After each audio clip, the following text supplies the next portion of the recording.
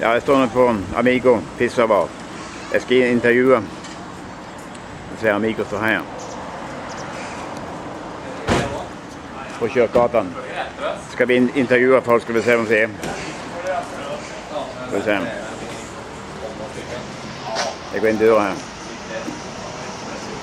Der har vi døra. Skal vi se. En trikken som danser. Aha. Skal vi se. Her har vi gjengen. Gjengen, ja. Skal vi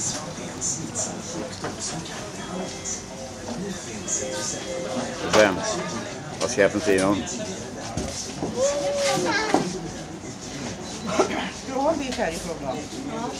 Hei sann. Hei, Gaben.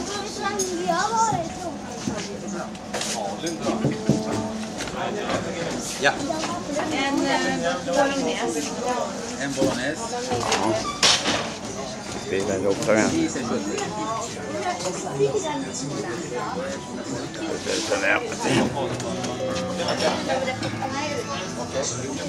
Trivelig her, så. Mye.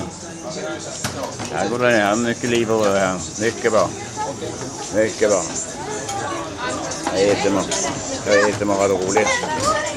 Ja, ja. Veldig bra. Perfekt. Perfekt, ja. ja. Mye trivelige folk her.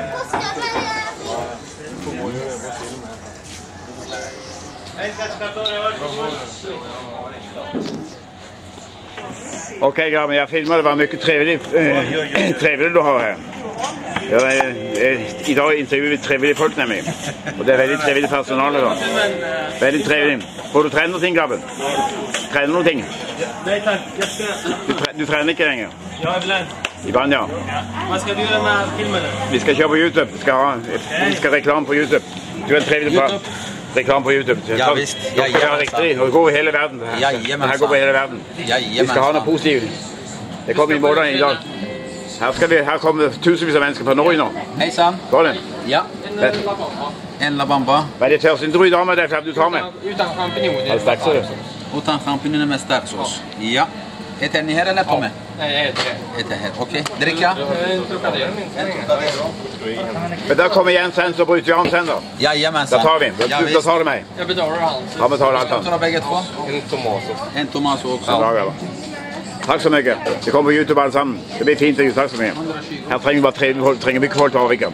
Det skal sendes på YouTube. Forstår du? Altså, Hele verden skal se på det. Har du med deg? Ja, nå er det ja, selvfølgelig skal trivelige folk. Vi skal ikke være sure, for du er alltid ærlig. Du er fin mann. Sånn skal det være. Sånn trivelige folk skal vi ha. Der kommer ikke norske, for eksempel. Bare penger. Ja.